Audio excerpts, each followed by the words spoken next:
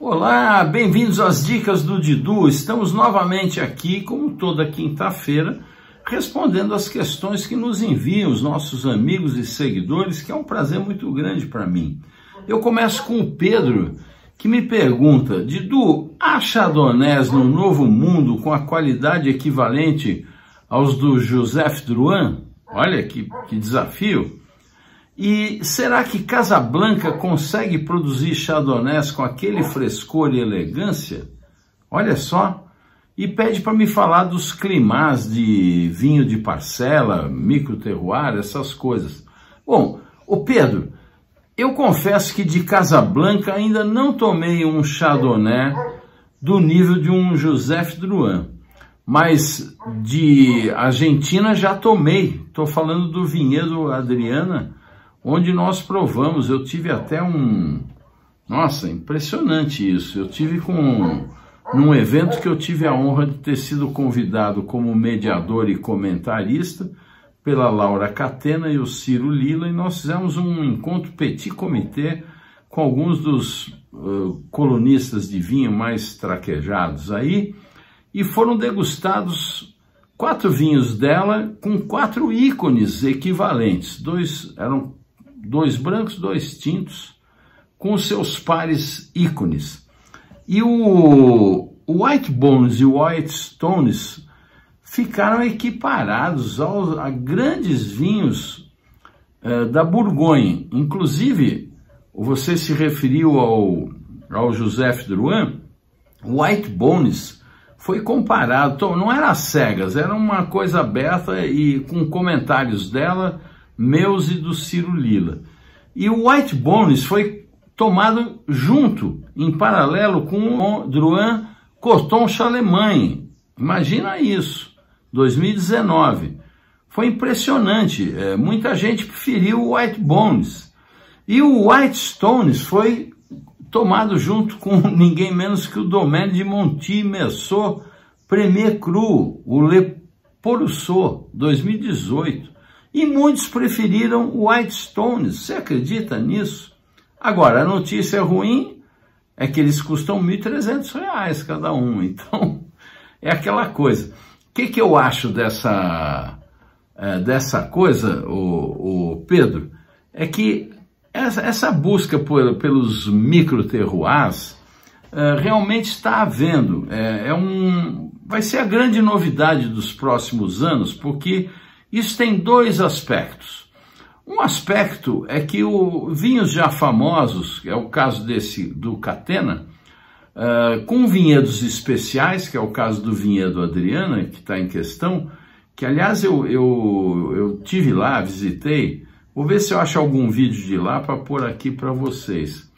E, e, lá eu tive a oportunidade de degustar cada vinho em cada calicata que foi feita para mostrar uma coisa realmente educativa, mostrando o subsolo que naquele clima de altitude, que a Catena é, é, é, pioneira na Argentina com essa coisa dos vinhedos de altitude, uma saga do Nicolás Catena, esse vinhedo Adriana, que é o nome da, da irmã do a irmã da, da Laura, né? Ela, que é sócia do Alejandro Viril no, nos El Inimigo, ah, o vinhedo tem o nome dela, porque ela andava mais com o pai, era caçula, meio temporona, uma mulher maravilhosa, teve aqui, eh, casada com um brasileiro, fala português melhor que eu, um doce de pessoa. Aliás, vou pôr aqui o vídeo que eu fiz a entrevista com ela, quer ver que legal? O que quer dizer, vamos lá, você está tirando uma foto ou um vídeo? Eu estou gravando já. Ah, tá. Ai, Adriana, Adriana Catena, adorei te conhecer, você é uma pessoa linda, puxou muito a fisionomia do papai, que é um homem muito elegante, e você agora veio pela primeira vez oficialmente ao Brasil falando português. Como é que é isso? Bom, meu marido brasileiro, meus sogros são um do Brasil, uma do Brasil, minha sogra, eu, meu sogro é do Uruguai, É, acho que tive que aprender mesmo para poder falar em família, para poder estar aqui no Natal. Não tinha outra, senão não entendia nada. Que delícia, muito gostoso. E eu quero saber de você o seguinte: em primeiro lugar, como é que foi sua infância no vinhedo? Porque eu vi fotos lindas, você com o papai, você pequenininha, Sim. e você meio temporona, né? Você veio depois dos seus irmãos, bem Bastante depois. depois, sim. Me conta isso. Então, a lenda é que eu, a- o vinhedo, Adriana, se chama Adriana, porque eu fui a que foi lá, que estive com meu pai nesse momento, né? Indo de um lado para o outro de Mendoza, vendo o tema da altura. Obrigado. Acho que assim, a infância sempre foi na, na, na vinícola, então tem dois cheiros que são meus cheiros favoritos do mundo, que o cheiro da folha do tomate É, é o cheiro da vinícola. Eu, eu cada vez entrar, para mim é uma volta também para o caminho da memória. É uma, assim, esses cheiros que te fazem sentir bem. que são- gostoso mesmo, Sim. né? O, o, o cheiro é a coisa mais rápida de acionar a memória, é uma- Incrível, impressionante. incrível, Sim, A gente cai no tempo instantaneamente. sim, é uma coisa maravilhosa. Então, para mim, acho que, que isso, né? O cheiro da infância. A infância é um momento, tempo do secreto, né? É, tempo de... Tudo é mágico. Tudo é mágico. Então, essa magia eu tenho muito conectada o cheiro da vinícola, o cheiro do vinho no chão. Que bárbaro. Do, até do robre, né? E me diz uma coisa, Adriana, você foi o vinho que te seduziu para a história ou a história que te trouxe de volta para o vinho? Porque você é historiadora. Sou historiadora de profissão. Então, eu comecei a adorar a história de muito jovem. Eu me lembro, eu tinha uns 6, 7 anos, eu li um livro sobre a Guerra Civil nos Estados Unidos. E tinha uma foto da época, uma das primeiras fotos, de um soldado menino, soldado de 10 anos. É, tinha algo ali que me, me afetou muito. Te emocionou. É, bom, assim, foi uma paixão que começou ali e continua até, até agora. Eu agora estou num, num grupo que trabalha sobre a história do terroir com o Japão. Estamos vendo a história do terroir, em tudo que é o mundo de vinho, mas também no que é chá verde. Então, até o dia de hoje, tento manter. Mas o, com o vinho, para mim, foi... Bom, o vinho é a minha vida, né? Eu, a vinha é minha casa. É, o vinho é tudo para mim. Só que a história requeria de uma me deixava escrever. Eu gosto de escrever, gosto de ler, gosto de ir pro arquivo, gosto de tocar a folha que tem 500 anos. Adoro fazer isso. Então, são duas paixões é, que convivem muito bem juntas, mas como acabei estando 100% com catena, foi pelo Covid. Tava Olha. um dia, um sábado, tipo 9 da noite, marcando exames, é, tomei um Nicolás Catena Sapata. É, estava tão bom, sabe? Eu pensei, como pode ser que eu não dedico a vida inteira para fazer isto? Porque é uma coisa incrível que a minha família faz. Ali senti 120 anos da história nessa garrafa. Eu Impressionante. pensei, não, deixo tudo. Vou lá, liguei para minha irmã. Falei, Laura, eu tô com você 100% do tempo. Ela, já era Sensacional. hora, me fala, já era hora.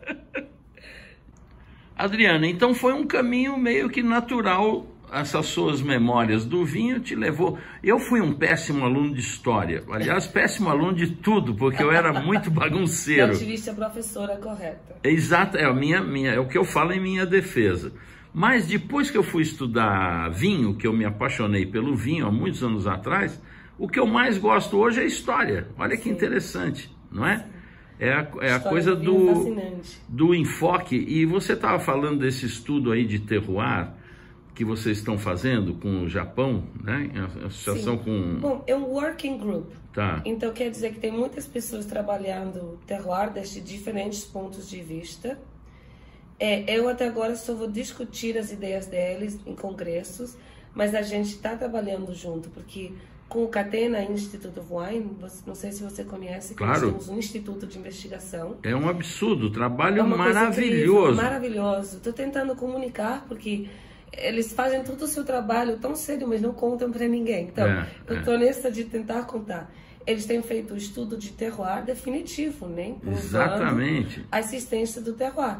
Porque eu fui para para uma casa faz pouco tempo, encontro um livro do, do 84, 86, que se chamava Terroir e Outros Mitos. Mitos e outros Mas eu falei, mitos. olha, que, que, tem, que, como, como muda nas Como coisas. muda, Porque agora exatamente. Sabemos que terror existe, mas em algum momento se achou que isso era uma coisa mística, mágica, que não era realmente. Não, e hoje e- ninguém duvida da, E- da existência do terror. E esse vinhedo que leva o seu nome, eu vou dizer uma coisa, é surpreendente, porque o trabalho que estão fazendo lá, a sua família, o Alê, a sua irmã, é, chegou em detalhes de parcelas, quer dizer, algum, um dos vinhos lá é de 26 fileiras da parcela tal. Gente, é, isso é de uma preciosidade, e nós fizemos a degustação comparativa, eh, Você viu? que aliás fui Incrível, convidado, fiquei né? honrado que a sua irmã me convidou para ajudar na- nas perguntas e tudo, Ah, porque que eu, eu sou muito falador. E olha, eh, levantou-se essa coisa do terroir do velho mundo e novo mundo, que antigamente era uma coisa que todo mundo falava, eu, eu próprio. E hoje, eh, quem quer velho mundo, se o seu vinhedo é de pé franco, e o, e o de Bordeaux e de, da Borgonha são porta-enxerto. Exatamente. É, é uma Até- questão. Exatamente. Nós temos aqueles vinhedos pré-filoxéricos. Então temos ali uma, uma história, uma tradição né, muito antiga que precede é, a filoxera na Europa, né? Porque eles trazem antes da chegada da filoxera na Europa. Então nós temos aqueles pre-phylloxeric vines. É. É, é isso uma maravilha. Mas também a terra mesma, a terra mesma tem antiguidade. Pois, Se exatamente. vamos falar É, da terra, da geologia, é, né? exatamente. É, mas eu- você fez então a, o, a degustação, a cata de White Bones e White Stones. Isso, nossa, São o vinhos que, que é feitos, aquilo? tem um metro e meio de diferença. São totalmente Como é que pode diferentes. isso, Isso é né? uma coisa maravilhosa, incrível aqui. Eu, eu agora estou aprendendo mais sobre a biologia da vinha. É, encontro fascinante que elas se comunicam. Se você, você pode colocar duas vinhas aqui, se você colocasse elas separado, uma ma- madura Matura. matura um dia. E essa maturaria três semanas após. Só que se elas estão juntinhas, elas maturam ao mesmo tempo. Olha que elas se interessante. comunicam. É, é, uma, é é, uma, é uma espécie, um reino muito mais antigo que o humano. Eles são, eles têm uma inteligência que a gente não tem, porque eles são muito mais antigos. As pessoas, eu que sou doido pela biodinâmica, acredito nisso. Bom, o fungo, Piamente. o fungo mesmo, né? Que o fungo está tudo ali É. dentro da terra, a- o microbioma da terra, né? Ali tem vida, tem tanta vida que está tudo se comunicando, que está tudo encontrando um jeito de trabalhar juntos para criar aquela É. uva que vai sair. Por isso Incrível, que né? acho que quando você faz vinho, você não pode tirar um, um pouquinho de vinho, você não, nunca bota ele, nem você bebe, você utiliza, É. você sabe o esforço que aquela planta precisou para criar aquilo. Exatamente. É a máxima coisa. Merece respeito, né? Merece respeito, sim. É isso mesmo, não é uma coisa para pegar e beber. É, você tem que aproveitar aquilo e saber que uma planta está te dando aquilo lá, né? Tirou da Exatamente. terra, tirou da fotossíntese, né? Sim. Que é outra coisa que pouca gente se dá conta da importância da fotossíntese. E, e a gente. miraculos, né? Dessa É, miraculos é uma mesmo, coisa- totalmente. Sim. E você tá, você atu- eh, atu- como é que nasceu a história sua do, do- do- dos teus projetos com o Alejandro Virre, o meu amigo? Bom, Ale e eu nos levamos muito bem. Somos os dois os rebeldes ali. um pouco rebeldes, sem causa, mas gostamos Mas- do certo, né? Comportamento Então, rebelde. faz já há muito tempo, ainda tinha vinte e tantos. É, a gente estava ali um pouco perdido em Londres, depois de. Meu pai tinha ganhado o Decanter Man of the Year Award, que é uma coisa assim incrível. É, acho que era a primeira vez que se dava para um sul-americano. É, bom, um grande honor, mas claro que eu e Ali depois nos perdimos na metade do Londres. Ninguém sabia como voltar para o hotel. Então ali co- começamos a falar, falar e achamos que tínhamos muito em comum, que tínhamos uma visão parecida de, de querer ter um projeto nosso, é, um projeto com, com um espírito assim. Mais um puro, mais, rebelde, é. Um pouco. Um pouco de ali foi um retorno ao momento- passado e também, ali, né? Na verdade, é tudo muito fácil com a Ali, é, entre nós, porque por agora, né? Não, não, não, É. não, tenho, não teria nem que ter falado isso. Mas eu me lembro um momento em que eu estava pensando no, inimigo, nem como um nome, porque eu estava fazendo doutorado na história em Oxford. Eu tinha que me levantar todas as manhãs, nem trabalhar das sete até as sete, escrevendo. Era difícil, porque às vezes eu queria só sentar no sofá, ver TV, comer pizza. É, tinha que vencer aquela pessoa de todos os dias. Então, eu era minha própria inimiga, por assim dizer. E Ali tinha sido pai, é, aquele mesmo ano. É. Então, ele também estava num momento difícil, porque quando você tem um bebê, tá, você está trabalhando... Nossa, muda tudo. É muito. Então, ali, eu, Ali, o que, que você acha do inimigo? Ótimo, adorei. Ele foi o único que falou isso, porque todo o resto do mundo falava um olho um pouco escuro. É.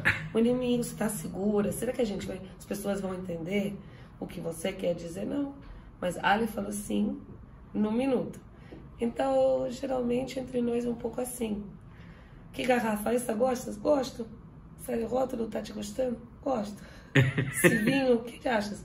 Adorei o vinho Ali, são demais. E foi um sucesso, retumbante. É, sim, foi um sucesso. Muito agradecidos os dois pela, pela boa fortuna que temos tido com isso. É, bom, com vontade de fazer mais, nem né? sempre novos projetos, somos sócios que gostamos de trabalhar juntos. É, bom, por agora tudo é fantástico. E, eu, e você atualmente, como é que está a sua vida com Londres e com a Argentina? Você está um pouco lá e um pouco aqui? Um pouco lá, um pouco aqui. Meus filhos são fanáticos do seu avô. Então, o único que eles querem fazer é visitar o nono. Tem meu filho me falou que ele quer vir sozinho. Que Olha, é mimo, que idade ele está? 10 anos. Olha. Eu vou sozinho. Se você me deixa, eu vou. E então é fácil vir para cá, porque eles sempre querem vir. Também tenho meus sogros aqui no Ribeirão Preto. Então, sempre temos Eu uma, tenho certeza que os avós apoiam essa ideia. Eu, como avô, então, já te adianto. Exatamente. Então, bom, sempre tenho uma boa razão para vir. É, tento vir o mais possível. Nunca é suficiente tempo na Argentina. Mas gosto também de Londres. Tem uma bicicleta elétrica que tem me mudado a vida. É mesmo, Me faz muito feliz. Que... Ao começo era muito difícil naquela cidade, nem para uma pessoa que vem de um mundo latino. É, é. É, tá é muito diferente. É muito diferente. Muito diferente. O começo foi Mas é fenomenal também, Sim. né? É lindo, é lindo. Nossa, adoro. Eu fui lá, na verdade, porque eu estava dando aula na Universidade de Warwick, em Coventry. Então, dava aulas até da, das epidemias que tinham se trasladado das Américas para a Europa e da Europa para as Américas. Olha então, que interessante. No momento eu explicava o que era uma quarentena, o que era uma pandemia. Mas bom, agora todo mundo já sabe. Agora todo mundo está pós-graduado.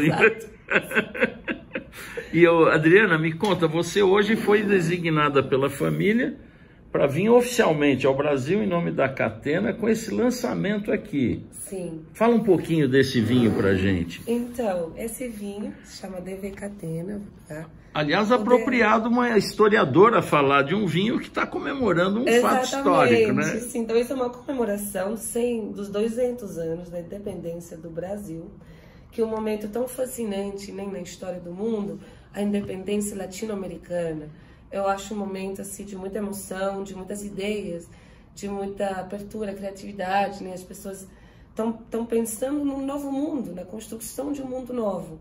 É, a Revolução Francesa não está tão longe, é, o Napoleão está bem pertinho, então é um momento assim muito interessante na história que eu, eu gosto. Não é meu período, meu período na verdade é o século XVI e XVII, mas é um momento muito interessante. E depois aqui esse, esse vinho é, um, leva o nome do meu avô, o Domingo Vicente Catena. Ele era um homem maravilhoso. O meu nono, né? Porque agora meu pai Você o nono. Você chegou a conhecê-lo? Cheguei a conhecê-lo. É, cheguei a conhecê-lo, era muito jovem quando ele morreu, mas me lembro dele. É, também na vida eu tenho escutado muitas histórias dele. Por exemplo, uma vez estava em Califórnia, é, fui tinha um seminário sobre a família Catena, na outra universidade. Eu pensei, ah, vou ter que ir. Imagina que alguém faça uma aula sobre a gente. Não acreditava que fosse é. possível, é. mas era. Então fui lá, estava alguém que tinha conhecido meu avô, ele me contava, porque ele era um tipo muito extrovertido, assim, é, muito brincalhão, italiano, né? Assim, é. caruço, assim. é, ele me contava que ele, meu, meu avô tinha pegado ele, levado ele para o clube, porque, mas sempre depois era um domingo. Ele todos os domingos deixava flores, porque a sua esposa morreu, faleceu muito jovem. É. É, então, do, no resto dessa vida, os 40 anos que ele viveu, cada domingo ele, ele levava flores para ela. E depois ele ia para o clube de italianos. É, então, achei essa história assim, Bonito, bonita, né? né? Ele cresceu, até se você vai para casa dele, tá cheio de flores, porque ele cresceu todas as flores para a terra o ano inteiro. Que levar. bonito, muito bacana. É, sim, então eu acho que esse vinho se junta um, uma personalidade nem romântica, apaixonada, com um momento histórico romântico, apaixonado. Claro, claro sem então, dúvida. Então eles, eles convivem assim muito bem. que bacana. E me conta dos seus, eu não quero te ocupar muito, que eu sei que está com uma agenda aí. Eu fiquei impressionado, deram uma lista enorme para você, porque querem matar a moça aqui. Bom, uh, mas eu queria saber o, seu, o, o teu sonho, o que, que você está projetando para fazer no mundo do vinho e que ninguém sabe ainda, que você está aí matutando e Se pensando. Eu te conto, vou ter que te matar. É mesmo? Mas é coisa boa, não? Não, na verdade, meu, agora é, o que mais me interessa é a sustentabilidade. O que eu gostaria ser o futuro. É, a gente já está num processo muito importante. A minha irmã tem liderado um, um movimento na nossa vinícola muito importante de sustentabilidade. A gente trabalha muito com água, preservação de água, de bosques naturais.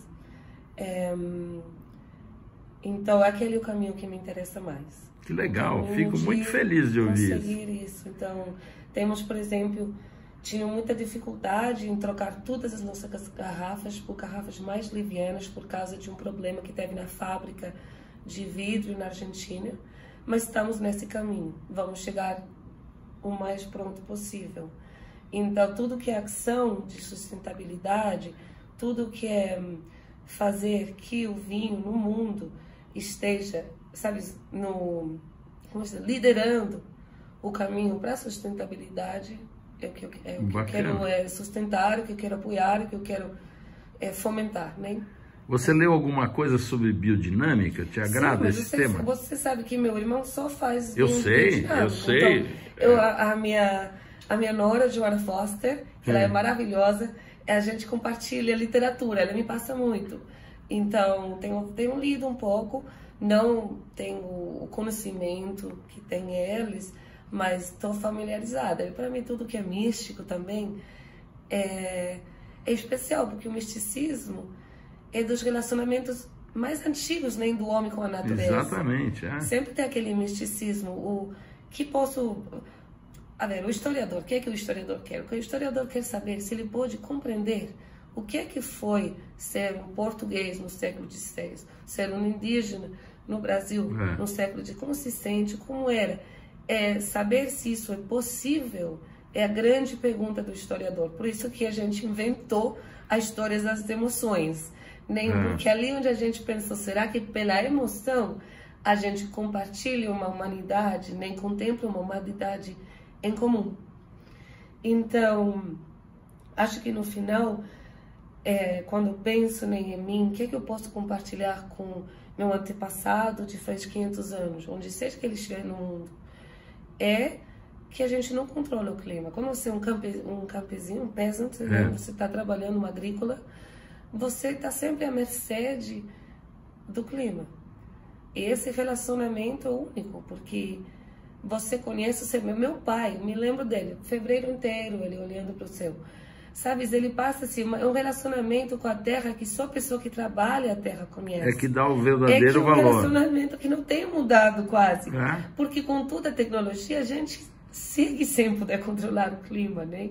É, então, eu acho isso maravilhoso, assim. Então, o biodinamismo eu respeito muito, porque eu acho que ele tenta se comunicar com aquela gra- grande história, né, em que abarca os milhares e milhares de anos da humanidade trabalhando a Terra. Que legal. Olha, adorei te conhecer, muito obrigado. Obrigada. Eu ficaria aqui horas Muito gravando com você, e mas é você que você vai ter muita coisa ainda para fazer hoje, e à noite vamos nos ver de novo Ah, no que jantar. bom, não sabia. Não é? Sim. Prazer em te conhecer, muito Prazer obrigado. Sucesso para você. Adriana. Obrigada. Não é bacana? Ela é um doce pessoa. Então, como eu ia falando, é, isso mais e mais vai acontecer. Acontece lá no Castelo de Monteport, que eles pegaram uma, três parcelas distintas que são muito peculiares e que produz coisas extraordinárias, eles fazem um rótulo específico. Agora, por que, que isso é importante?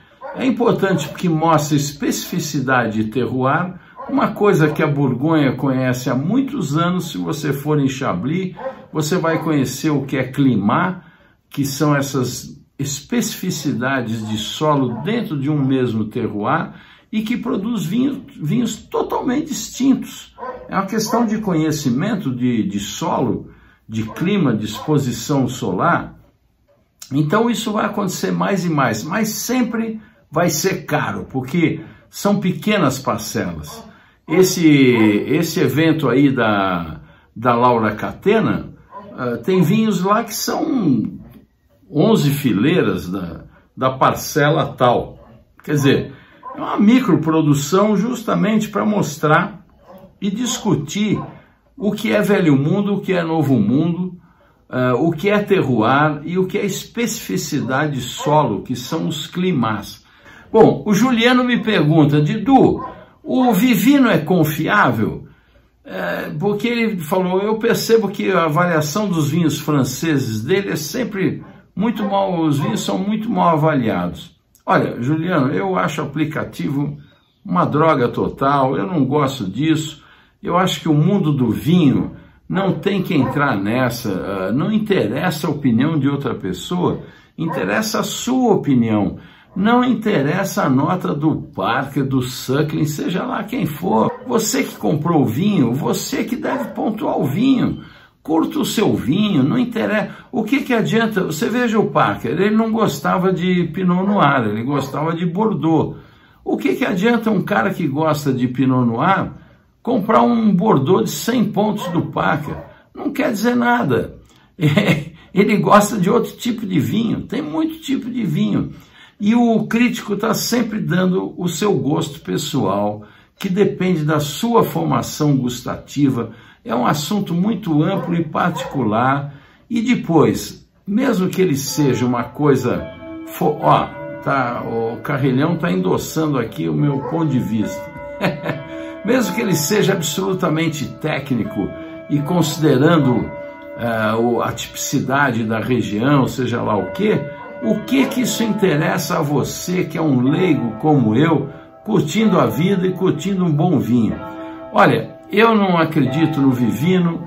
Eu tenho casos absurdos do Vivino de importadores que botaram um monte de gente é, para entrar lá e dar nota alta num vinho que importa para ter não sei quantas estrelas de avaliação.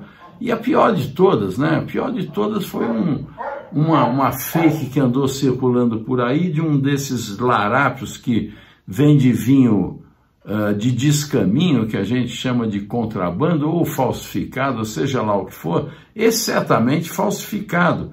Porque ele tá, vendia no, no, no, no, WhatsApp, andou circulando aí, acho que no, no Instagram também, acho que foi no Instagram que eu vi.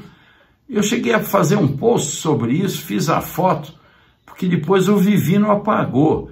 Mas o cara, esse larápio, vendia um Dom Melchor Merlot, não tem Merlot em Puente Alto. Ele não, não tem Dom Melchor Merlot, nunca teve. E o cara teve a cara de pau de postar que o Vivino pontuou com não sei quantas estrelas. Eu botei a foto. O vinho não existe foi pontuado no Vivino, então, desculpa, né? Bom, o Alessandro pede para eu explicar quanto é que custa para alguém participar de uma, um evento desses, umas feiras de vinho, e quantas garrafas se precisa. Olha, por coincidência eu, eu estive na, na Pro Wine, uma das grandes feiras que tem uh, de vinho aqui no Brasil, uh, lá que o Christian Burgos, meu amigo, que, que organiza, e eu fiz essa pergunta que você está querendo saber, Alessandro. Fiz para um expositor. Quer ver o que ele falou? Pô, que prazer aqui, o Edu. Euclides. E o Euclides, gente, já o dono do vinho aqui. Tá um sucesso seu vinho, viu? Todo mundo adorando. Inclusive o teu Malbec branco, eu achei sensacional, muito bem feito. E olha, eu quero que vocês respondam o seguinte: o, o leitor perguntou quanto é que custa para ter um stand. Vou até mostrar aqui o stand.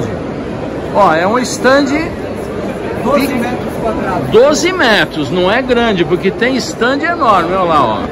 Esse aqui, 12 metros. Quanto você gastou de espaço e decoração e quantas garrafas você vai ter que abrir aqui na feira? Vamos lá, para 12 metros quadrados de a gente investiu cerca de 26 mil reais só de estrutura e decoração. Pô, não é pouco, hein, bonitão? Não é Tem pouco, que vender não. muito vinho agora. Tem que vender tudo. Tem que vender muito vinho, muito E, vinho. e quantas garrafas você acha que vai ter que a abrir gente aqui? vai abrir mais ou menos umas duas garrafas de cada vinho por dia, o que vai ser algo por volta de 60 garrafas. Tá, não é pouco também, Também mas não não é é exagerado. Não. E aqui se vende vinho? Não se não vende. se vende. Só Viria, né? Eu sempre defendi isso ainda quando era Expo Vines, mas aqui também a coisa é o contato profissional, né? verdade. Olha, obrigado, tá respondido aí a questão. Obrigado a você. Prazer. Saúde, sucesso. Essa, essa era a grande curiosidade. né? É, essa era a gra- Viu? Não é barato, bicho. Vender vinho é complicado. Construir um conceito de marca é caro. É tudo caro e demorado. Então, fique aí com essa informação. O André também me pergunta se eu provei os varietais da Aurora, o Marcelin, o Petit Verdot e agora o Rebo. E o que, que eu achei? Eu não tinha provado, mas eu tive também nessa Provine a oportunidade de degustar esses vinhos.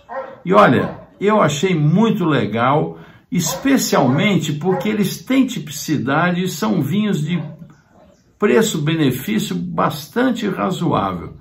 Gostei, André, agradeço pela dica. Rodrigo, prazer estar aqui com vocês, eh, degustando as novidades aqui da Aurora. E eu queria que você falasse, eu sou muito fã dessa linha de entrada, que agora está com novidades. Tem a Rebo, tem a Petit Verdot, tem a Marcelin. Eu gostei dos três, embora a Rebo foi a que mais me deu prazer. Me fale um pouquinho dessa linha. Essa linha de, como tu bem comentou, é uma linha muito democrática, que a Aurora, eh, sendo uma cooperativa, tem o dever de levar para o público brasileiro uma oferta de um produto com muita qualidade, mas com custo acessível. Eh, A Aurora tem 1.100 famílias cooperadas que plantam praticamente 40 variedades de uva e no momento que a Aurora consegue fracionar e microvinificar essas variedades, nós conseguimos levar para o público brasileiro exemplares com um custo muito interessante e um produto democrático. Muito legal, Rodrigo. Você me surpreendeu aqui com uma novidade totalmente inesperada de uma uva da Geórgia, que é a Saperave, e que está delicioso. Me conta desse, desse vinho e desse cooperado. Exato. Então, essa, essa história é uma história curiosa de um outro cooperado que trouxe para o Brasil ah, algumas mudas dessa variedade Saperave lá da Geórgia. E um cooperado lá de Pito Bandeira, lá de cima de Pito Bandeira, vizinho ao, ao, centro de, de técnico de, da Aurora de Pito Bandeira, resolveu plantar. Atualmente, então, ele conta com 300 plantas, 300 videiras. Nesse primeiro lote, então, da safra 2020, são apenas 320 garrafas, com venda exclusiva no e-commerce da Aurora e nas lojas próprias lá de Bento Gonçalves. No segundo lote, então, ele vai vir com um volume um pouco maior, mas é como tu comentou, eu vou deixar essa curiosidade no ar para vocês que querem experimentar esse produto ou buscar um produto uma variedade distinta, uma variedade pode se dizer exótica, né? Para entrar então em contato com esses canais que eu citei e experimentar. Certamente o vinho vai surpreender muita gente por ser brasileiro. Então é um vinho made in Brasil com muito orgulho. E é delicioso. Parabéns. Muito obrigado, Didu. Obrigado, hein? Bom, eu queria indicar na Mistral os vinhos da Ilha da Maiorca, do meu querido amigo Miguel Ángel Cerdá. Miguel Ángel é um, é um gênio, um cara que faz vinhos puros, sinceros, prioriza a cultura local e as uvas locais. E eu provei dele agora recentemente no Encontro Mistral um, um cava que é simplesmente extraordinário. 11,5 de álcool, gente. Sabe o que é isso? Charelo, parelhada e macabeu. Mesmo processo de champanhe, processo tradicional da segunda fermentação em garrafa, com frutas frescas, uma boca elegante, um show de vinho, notas delicadas cítricas. Olha, dá para tomar em Magnum, viu? É pena que não tem. Autólise é no mínimo 22 meses que garante um espumante complexo e cheio na boca. Sabe quanto custa? 273, lá na Mistral, vale muito a pena. O outro vinho do Miguel Angel que eu adoro, eu gosto muito da irreverência dele. Ele é um cara, um show. É o blá blá blá. que tal? Olha só o rótulo do blá blá blá. Ele custa 237,12 lá na Mistral. É o novo vinho da terra de Falanes. É 100% da uva prensal. O vinhedo é localizado na região de Felanitx, e onde o solo é de argila vermelho, conhecido como cal vermel, que fornece ao vinho características únicas e equilíbrio com a fruta produção em baixa escala, as uvas cuidadosamente selecionadas, a colheita é manual e a seleção das uvas é feita na chegada da bodega. Passa 10 horas no processo de maceração, seguido por prensa e encaminhadas para os barris e tanques. A fermentação a 16 graus, metade em carvalho e outra metade em tanques de concreto. Ele é cheio dos truques. O vinho matura 50% em cavalo e 50% em tanque de concreto. E tem oito meses em contato com as borras. Pode imaginar? E eu tomei. Eu tomei e recomendo para vocês o Blá Blá Blá, 237 reais. O vinho top do Miguel Angel, que você precisa provar um dia na sua vida, custa 828,55 e vale. Vale pela qualidade, pela suntuosidade, pela experiência de você conhecer o que, que é a uva Cayette. Cayette, uma uva típica de lá, que ele resgatou. Estou falando do Anima Negra 2017. Olha, é um dos vinhos mais emblemáticos da região de Maiorca. É reverenciado e cultuado na Espanha. Tem elogios por críticos de todo o mundo, elaborado com a caiete, como eu falei, tem um caráter bastante próprio e elegante, vinificação tradicional em tanques de cimento e grandes tinas de madeira com controle de temperatura. São vinhedos antigos da região de Maiorca, com esse solo cheio de óxido de ferro e sobre rochas calcárias, uma coisa muito legal, 18 meses em barriga de carvalho francês, muito fino, tostados médios e baixos.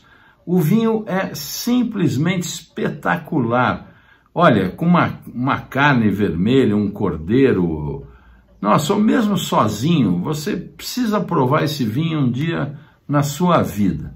Bom, vamos para a Premium ver o que, que o Orlando indica para nós?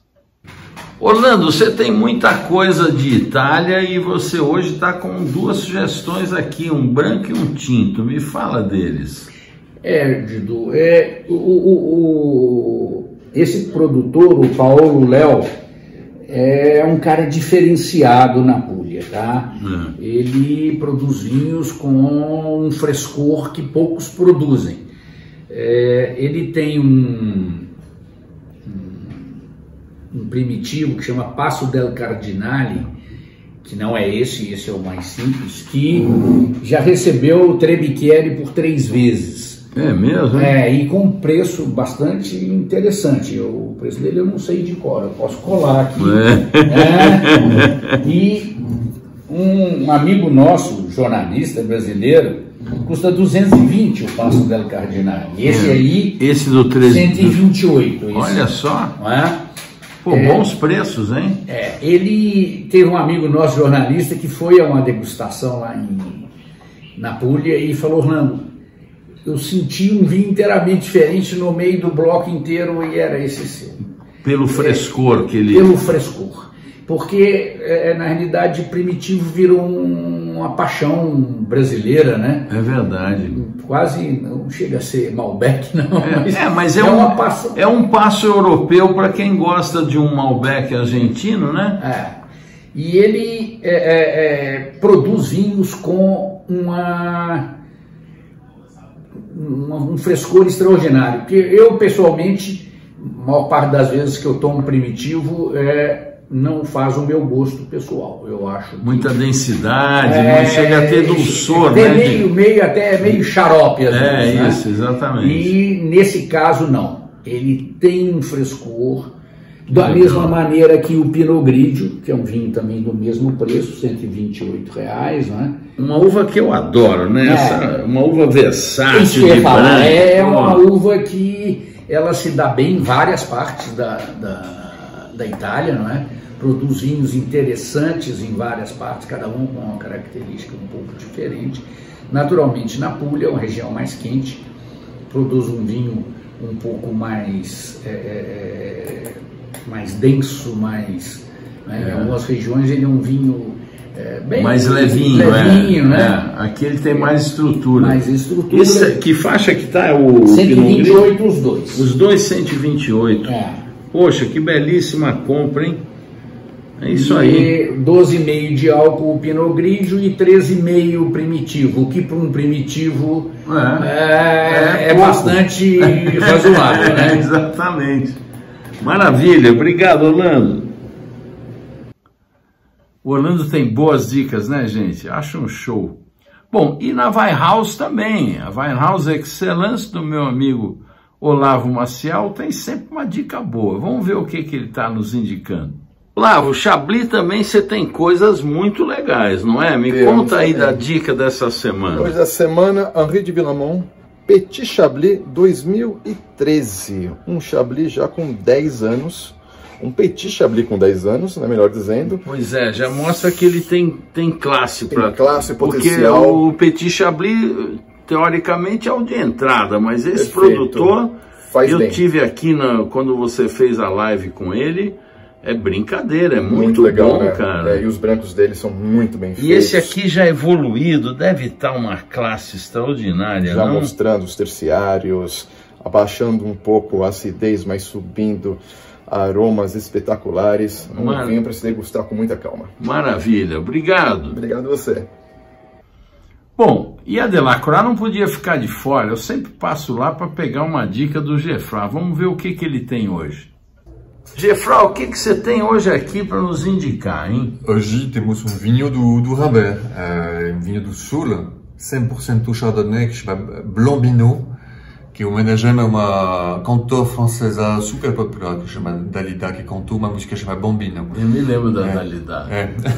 Era bonita. Muito, ela era, porque é. não faleceu. É. E esse é um Chardonnay 100%?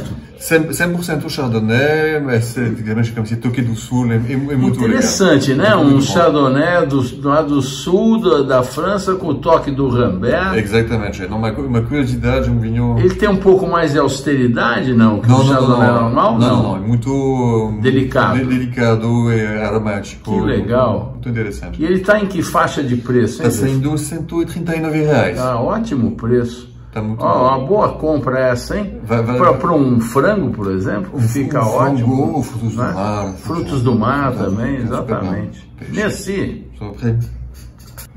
Gefra Monami, o que, que você tem aqui, esse rótulo muito classudo? Muito classudo, uma, uma apelação muito classuda também, é Cruz Hermitage, ah, olha aí. Côte du Rhône, uh, se chama Et la Bannière, e 2021, e Domaine du Coulet. Okay. É 100% oceano. É, Sensacional, né? É um, um, vinho que, que é mais encorpado, mas continua a ser muito elegante. Uh, e isso vai funcionar muito bem, porque vamos botar isso. Uh, sabe uma coisa, um casamento inusitado, mas que vai funcionar bem, bœuf bourguignon. Ah, é? Olha é legal. Interessante. É, essas carnes ensopadas, né? Exatamente. carne de panela que o brasileiro gosta tanto. Um ossobuco. Ossobuco também. Bárbaro.